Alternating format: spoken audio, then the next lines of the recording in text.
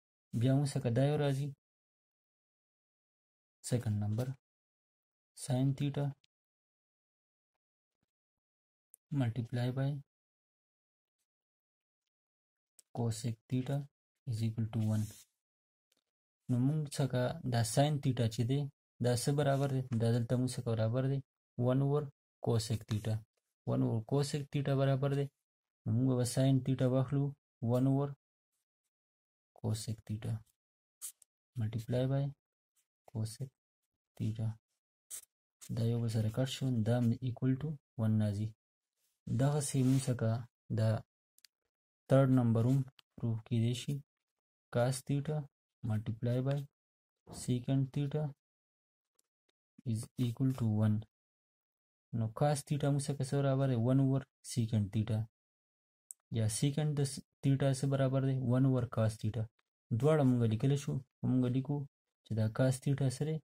دا برابري د ون اوور سیکنډ تیټا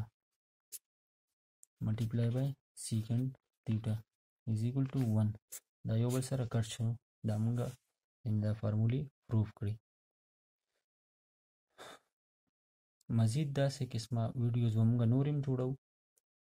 نیکسټ لیکچر کې نو هغه کتو د پاره تاسو زموږ دا چینل سبسکرایب کړئ او بیل آیکن پریس کړئ او زموږ دا ویډیو چې دا که تاسو ته خوښ شي نو دا لایک کړئ ثانک یو